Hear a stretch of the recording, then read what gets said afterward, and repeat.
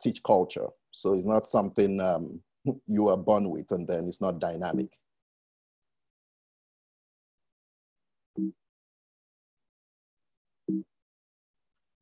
Sorry. Slides are not changing. Okay, number one, uh, as I said before, culture is a system. It is a tool and it is learnable. Uh, I'm emphasizing this because this will be the framework with which we are going to do our analysis in the course of the conversation today. Number one, culture is a system. So uh, if you look at this Johnson and Scholes cultural web, you will see the various components of culture. It's about the stories. What stories do people tell about the organizations?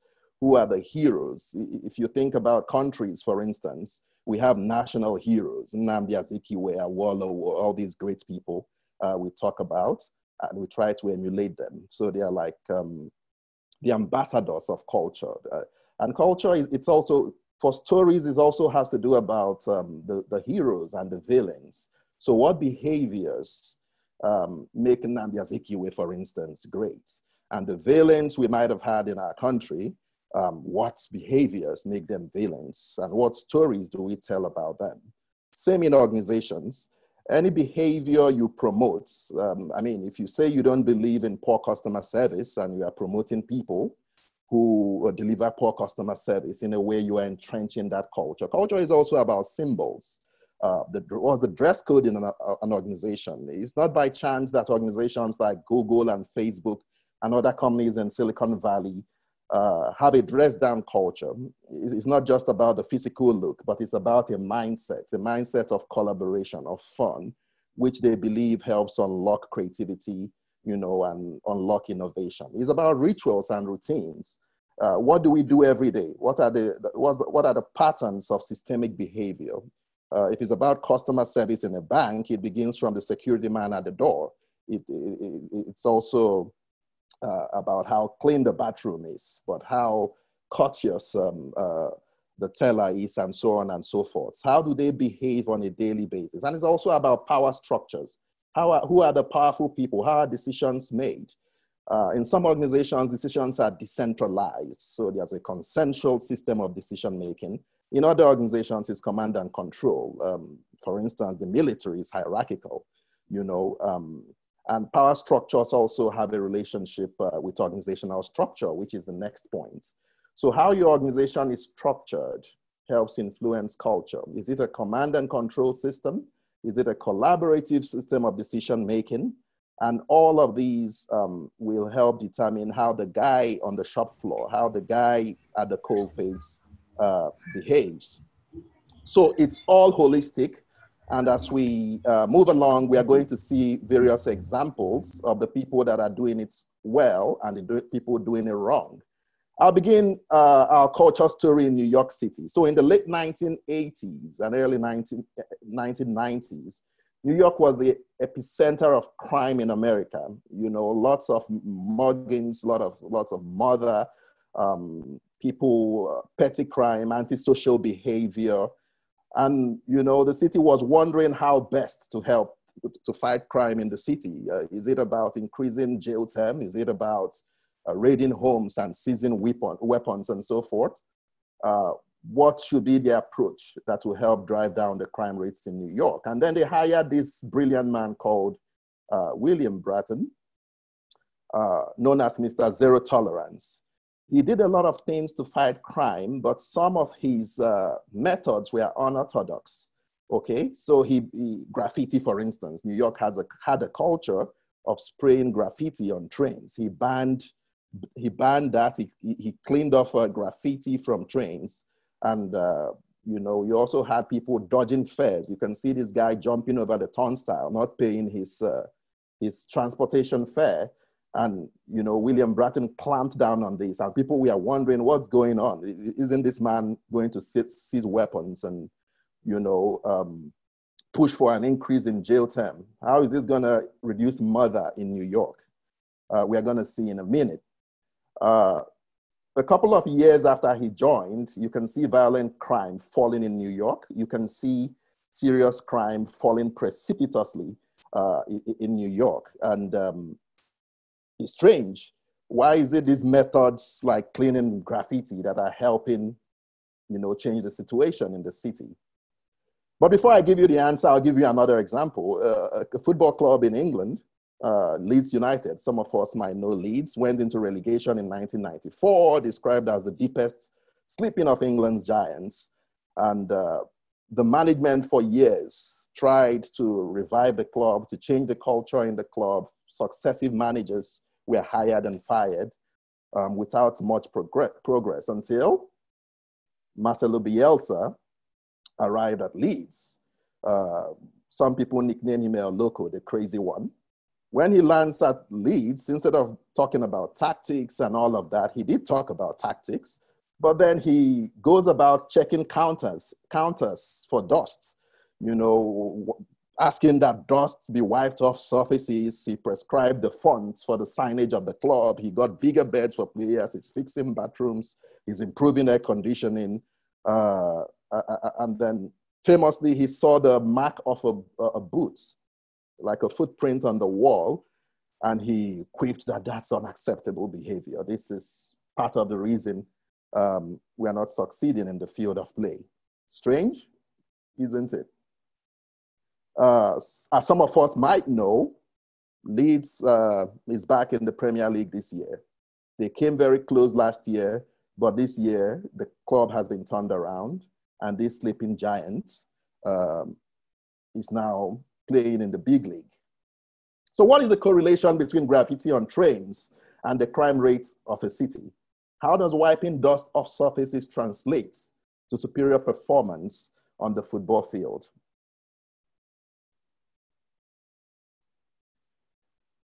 Part of the reason is a theory I would like to introduce you to called the broken windows theory. Uh, this theory was developed by criminologists, and the essence of this theory is that if you allow low level crimes in an environment, it encourages more serious crimes. If you have two buildings and one has a broken window and the other one does not have a broken window, the building with a broken window is more likely to be vandalized because there's something about that system, that environment that shows that crime has started and, you know, and, and signals for more crime to continue. So sometimes to change the big things is the small things uh, you have to fix. That's one of the lessons I'd like us to go away with um, today. Culture is systemic. That's the, that's the point we're on. So it's all about the system it's not just about the tactics on the soccer pitch. It's, it's also about the, the size of the bed, the air conditioning, the, the attitude of the players. Do they come late for training and so forth? If you allow laxity in small things, invariably it might uh, impact the big picture. I also like to talk about the culture iceberg because the, the, the, the, the behaviors we see on the surface for instance, you come to a bank um, and service is not good, the cashier, the cashier is frowning, uh, and so forth, or you go to a hospital and uh, the nurses or the doctors are not fast, they are not responsive. These are symptoms, not the underlying cause. The underlying cause will be the values that are acceptable in that organization. What values have the leaders drilled into people? What values uh, make the heroes. Remember the heroes and villains theory I talked about. What values are celebrated and what values uh, are punished. So systems thinking, number one point, that is why these architects were able to bring about a difference. If you want to fix culture, you have to think systemic. Um, there's a whole theory around systems thinking and how, you know, fixing one symptom doesn't help uh, solve a problem, you have to look at the various moving parts. Number two point about culture, culture is a tool, right? Culture is a tool not just in corporate organizations, but also in international affairs, in, in diplomacy, right? That's why we have uh, cultural organizations like the British Council, Goethe Institutes from Germany, Alliance Francaise from France, and so forth. Um, it's not because these countries want to go to the developing nations and spend money. I mean, it's part of it, they want to do good, but part of it is, in, is trying to transfer their culture to you, trying to make you experience France, even if you are in Lagos by going to Alliance Francaise. uh, trying to make you speak the language because they believe that when there's a commonality in culture, they will be able to influence you. People get along with people that they have a common culture with, right? Um, in international relations, there's this theory called the theory of democratic peace. It is rare for democracies to go to war with fellow uh, democracies, right? It's usually democracies going to fight dictatorships because they have a commonality. They see themselves as one. Uh, in fact, one author took it a step further and said that no two countries that have a McDonald's have gone to war with each other. That's why I have the McDonald's logo there, just in case you are wondering. But then number two, in, the, in, in uh, the corporate context, culture as a competitive advantage. In a minute, we are going to be looking at organizations like Netflix, Amazon, Bridgewater, and so forth, but also our own GT Bank to see some of the things they do right. Okay. Um, uh, someone famously said, you know, that culture eats strategy for breakfast. And we're going to see how that happens in a minute. So first of all, for organizations, uh, I'd like to emphasize this point that the culture of organizations derive from their strategy. So in your organizations, if you want to change culture, don't just copy another organization's culture because it looks good. You have to think about your strategy. What am I looking to achieve? Strategy is about choices. What have we decided to do in this organization and how have we decided to reach our goals? I'll give you an example. For airlines, some airlines um, their selling point for some airlines, their selling point is cost. They've decided to compete on costs. They want to be the cheapest uh, airlines uh, in, in the business. You know, uh, their customer service might not be great. I'm not saying that is good, but they've made the decision that our competitive edge will be cost. It means they have to pay a lot of attention to cultural change around how to drive costs. It doesn't mean they should ignore customer service completely, but it's about what you give the greatest focus, right? For some other um, airline, they might not want to compete on costs. I mean, our competitors might be cheaper, but we want to be known for great service. We want to serve you the three course meal. We want to play mood music on the plane. We want to provide Wi Fi. All of that might make the airfare cost five times more, but we don't care. It's a, we, are going to play in the space of service. All right. So that would determine the culture they look to, to build. So um, strategy and culture are interrelated, but strategy must not be seen as um, the quick fix, the silver bullet, because as Peter Drucker said, culture eats strategy for breakfast. If you don't get your culture right, then your strategy will just will not be what the paper it's written on, and your values will just be a sign up on a wall. You know, so with uh, culture, you can unlock uh, the promise of strategy. So we are going to be diving into a few case studies, and in this section, I'm going to let you see some examples of organizations that get it right, and some principles um, that relate to culture that have helped some organizations win in the marketplace. The first thing I'd like to do is to introduce you to this book called Founders Mentality. All right. Uh, the idea behind this book is that mo the most successful organizations in the world are usually organizations that have um, a founder, a passionate founder like Jeff Bezos in the case of Amazon, or Bill Gates in the case of Microsoft. These people have a dream. They start out as one person, perhaps in a garage, they are the ones that turn off the lights, turn on the lights when they come into the organization and turn it off when they are leaving. They have some values. They are usually insurgents. You can see insurgency in the first concentric circle. Insurgents are people who attack the status quo. Imagine what Uber is doing to taxi, the taxi business. You know, they are insurgents. They come in with their own culture, speed, agility. They disrupt the system. They provide extra value. They drive down costs and organizations begin to grow. Owner's mindset, that is what these founders uh, also had, is their own business. They take it as their own. And frontline obsession is about how um, you don't just make craft your strategies in the boardroom, but how you make the guy in the coal face, the guy in the field, um, able to execute your strategy. The Uber driver is part of the execution of Uber strategy. And you can imagine the millions of drivers they are. For one man businesses, it's easy for you to embody all these values, insurgency and so forth. But as the organization begins to grow, it becomes more difficult, you know, to transfer these values to everyone within the organization. And founders mentality is about how to make these values stick, how to transmit these values within uh, the organization. And I'll be talking more about this in a bit. But before then, if you look at the outermost concentric um, circle, you're going to be seeing some fact, some values that help organizations win. Bias for action, organizations that go out to the fields and execute. Not having long meetings, not uh, developing fancy strategies. You can develop strategies till the cows come home, but if you don't go out and execute, you know, your strategy will not be what the paper is worth. And bureaucracy kills organizations. I can't talk about this enough, whether it's in hospitals, whether it's in banks, you know, if you have a bureaucratic mindset, people don't move fast. Then sooner rather than later, a smaller company, an insurgent, is going to come in with speed and agility, disrupt the sector, and knock you out of business.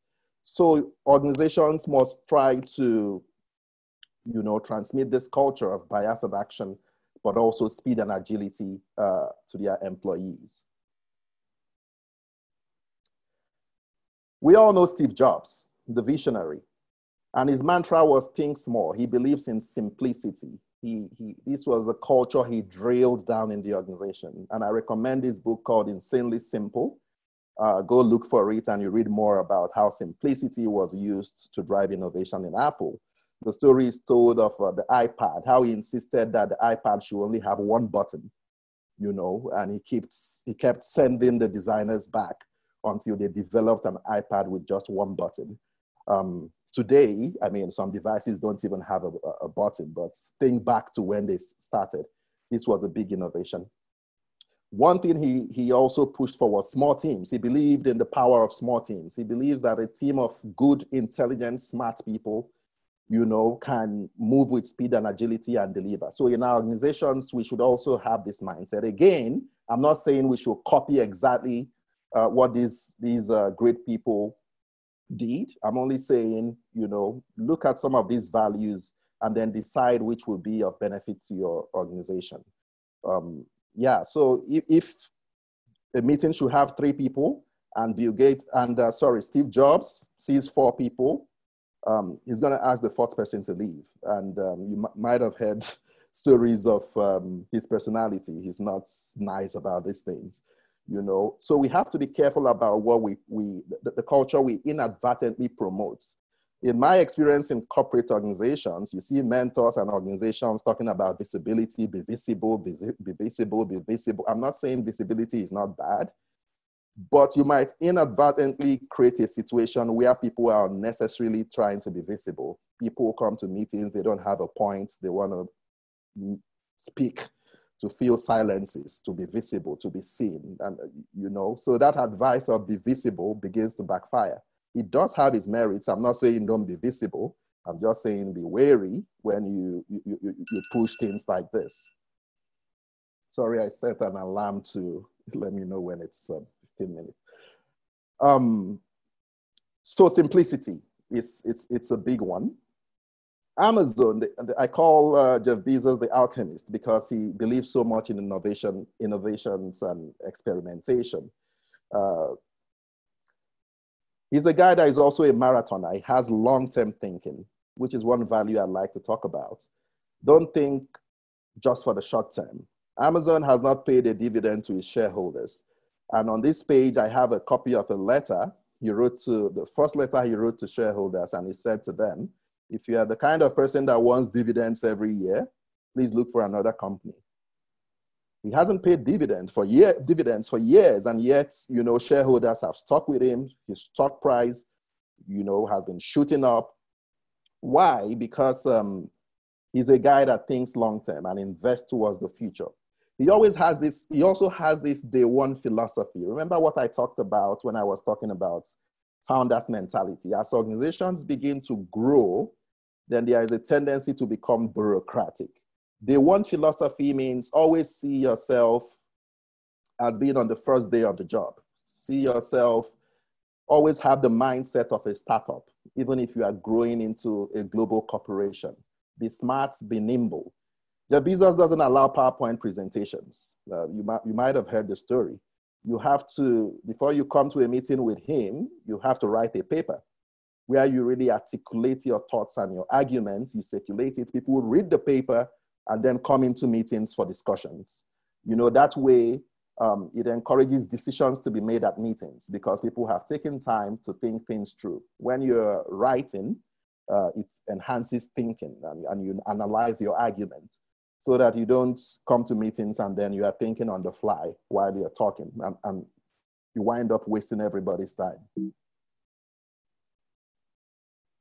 The Maverick, uh, Reed Hastings, as we all know, uh, Netflix is, is, is taking over. Um, recently, Reed wrote this book. It's one of the hottest books in town, No Rules, Netflix and the Culture of Reinvention. I also recommend it.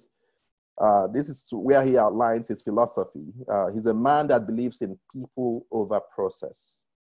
Um, most organizations pay their employees, not most, some, pay their employees peanuts. You know, they have a culture where employees are bullied. It's not the right place to work. Micromanagement is the order of the day. And you want to get the best out of people. Um, for most organizations, if not all, the people are the differentiators, you know. So you have to invest in your people. If you think you are saving money by paying people peanuts, you are going to get what you paid for. In Netflix, for instance, there's no limit to holidays. People are given freedom, think about it, to decide the number of holiday, holidays they are going to take, uh, the number of days off. I know you might say, oh, if we did this in some organizations, uh, some people would take 365 days. But in Netflix, it's not the case. He trusts his people. He trusts that they will not abuse, you know, that, that um, privilege. And so far, they've not disappointed him. Uh, uh, the company is growing in leaps and bounds. And um, you can, in the interest of time, I'll move on, but I highly recommend this his book, No Rules. Another guy I'd like to talk about is the founder of Bridgewater Associates. Um, his name is Ray Dalio. He believes in radical transparency. Okay, he believes in Kaizen. Kaizen is continuous improvement. Another culture that helps organizations grow is being able to improve, being able to track your progress, being able to learn from your mistakes. Uh, and then he also believes in algor- algorithmic decision making, tongue twister. um, how does this work? So in Bridgewater, it's not a democracy where everybody, there is transparency, everybody can offer their ideas, but ideas are weighted. So if you give suggestions progressively and you've been making mistakes, if you give suggestions in future, in the, in the future, your past mistakes will be taken into cognizance. Your decision will be weighted based on your past errors of judgment. You know, um, and it will not weigh the same as somebody who has a history of making the right call you know so let's see how this works and one more thing is openness he has a culture where he encourages even an entry level employee to tell him the truth to call him out when he does wrong you know this might be for some of us culturally this might be strange because we respect the leaders and the elders a lot. And this is one more thing I'd like to touch upon. Sometimes the culture of a people, as Nigerians, we are very respectful, which is great. For we respect gray hair and all that, which is great. But it has some downsides in the context of our organizations, right?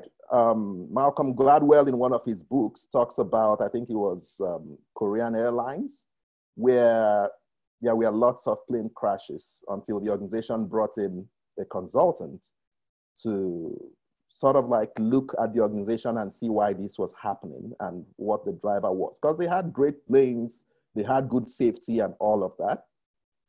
So the consultants did an audit, and what they found was that almost in all cases, Whenever the older, more experienced pilot with more flying hours was about to make a mistake, almost in all cases, the junior pilots saw that the older person was about to make a mistake, but wouldn't talk about it because he would think, okay, I've only been one year in the game. This guy has um, 5 million flying hours, he can't be wrong.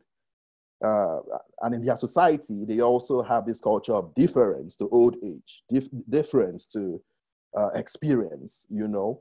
And so they, they, they change, they try to change that culture to get young people to, to respectfully offer their ideas. And guess what? The, the accident rates fell, you know, and since then it, it has been a, a, successful airline, no accidents, and um, just because culture was fixed. So back to Bridgewater, this is the culture uh, Ray Dalio pushes, and in a minute I'll show you an email an employee wrote, an employee wrote to Ray Dalio who is the CEO of this organization. Ray, you deserve a D minus for your performance today in the meeting. You did not prepare at all because there's no way you could have prepared and being that disorganized. In the future, I would ask you to take some time and prepare. And maybe even I, I should come up and start talking to you to get you warmed up or something. But we can't let this happen again. If you in any way think my view is wrong, please ask the others and we can talk about it. Can you send this email to your CEO? If you're a CEO or a leader in an organization, can your reports send this to you? Radical transparency. So our, algorithmic decision making, oh, this word. So at meetings in this organization, everybody has an iPad. If your colleagues are offering ideas, we are rating their ideas. Is this idea assertive? Is it open-minded? Is this a poor idea? You can see this person got a three, this person got a nine. All employees are rating each other, as you can see here. At the end of the day, this is compiled, you know, and at the end of uh, certain periods, the organization will look at the history of how others rate you and the quality of your decision making. And in future, when you contribute, it will be weighted against, you know, the, the, the quality of prior uh, contributions.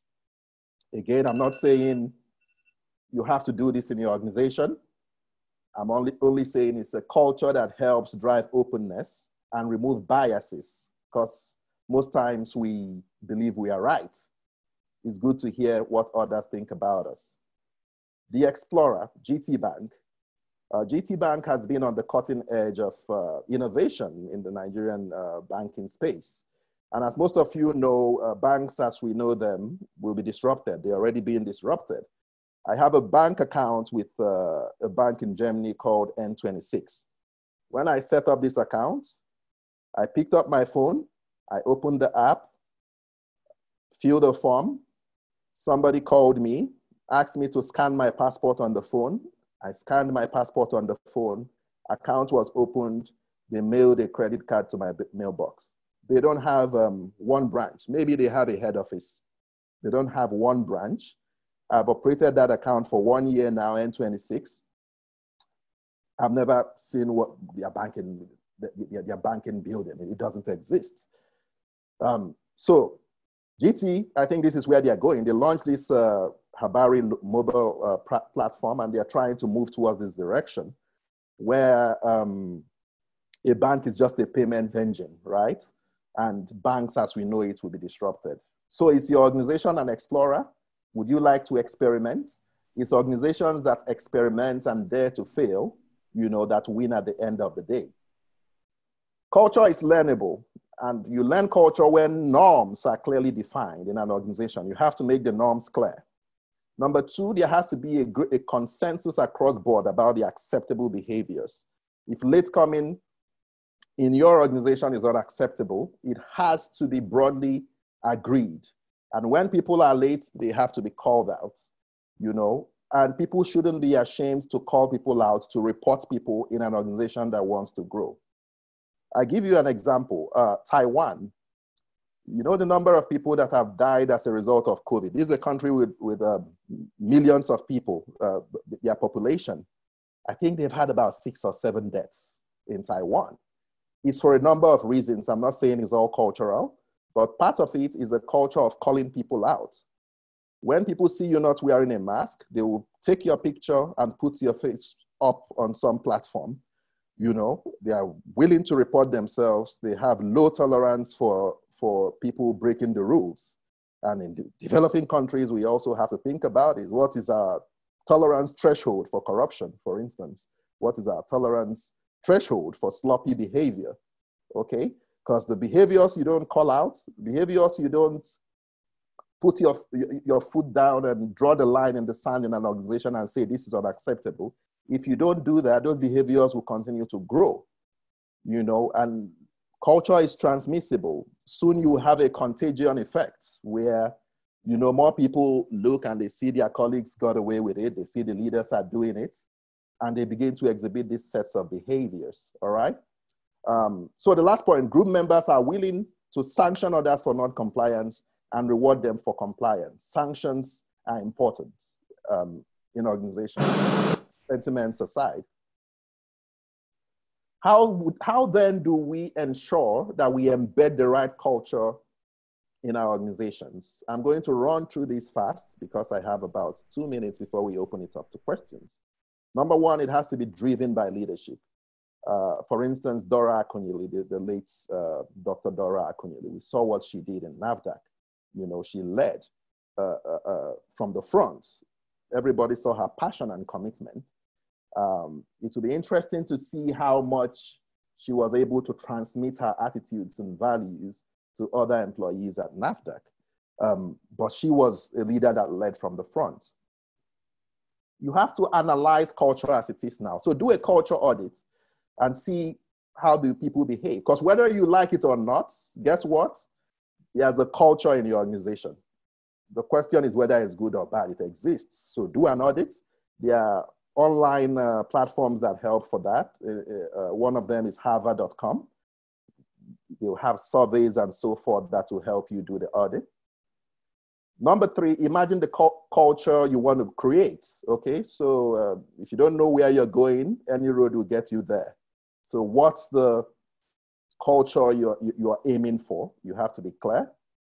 And then what is the difference, all right? What is the difference between the culture, the current culture in your organization and the culture, the aspirational culture where you want to go. When you find the difference, then you work towards fixing it. Then you make an action plan, establish the key issues to address, determine who should take action, and establish how you will track and measure changes. Um, of course, what's not measured doesn't get done. So have a framework for measuring uh, success or, or, failures over time so you can course correct. And I will end my presentation with a quote uh, by one of the greatest basketball coaches of all time, Coach John Wooden. When you improve a little each day, eventually big things occur. Don't look for the big, quick improvement. Seek the small improvement one day at a time. That's the only way it happens. And when it happens, it lasts. Thank you. Osita, thank you. That was excellent. I learned so much.